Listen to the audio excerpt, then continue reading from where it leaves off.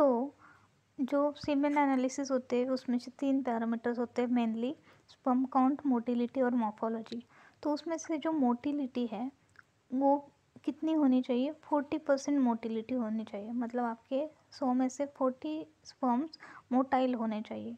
इसमें भी अलग अलग चीज़ें होती है, जैसे एक होती है प्रोग्रेसिव मोटिलिटी होती है, एक होती है फॉरवर्ड मोटिलिटी ठीक है? तो but normally motility forty percent होनी चाहिए। ये किसने बताया है? तो ये डब्ल्यू एच ओ की 2010 में जो गाइडलाइंस आई थी, उसके according forty percent motility normal है। इतनी होनी चाहिए, ठीक है?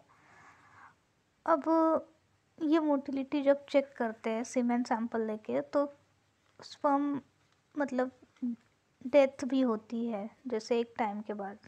तो इसलिए आपको डब्ल्यू एच ओ बोलता है कि आपको एक घंटे के अंदर अंदर सैंपल कलेक्ट करने के बाद एक घंटे के अंदर अंदर आपको स्पर्म मोटिलिटी करनी चाहिए पैरामीटर ये पैरामीटर कर लेना चाहिए। इसका मतलब क्या हो सकता है कि एक घंटे तक स्पर्म ज़िंदा रह सकते हैं, ठीक है? अगर आपको कुछ इन डिटेल इंसाइट्स है इस टॉपिक पे तो आप मुझे डिस्कस कर सकते हैं कि actually kya hoti hai or any terminologies if you know the for where the sperm motility is decreased or there is no motility that is non-motile we know that. But what are other terminologies used in the sperm motility count?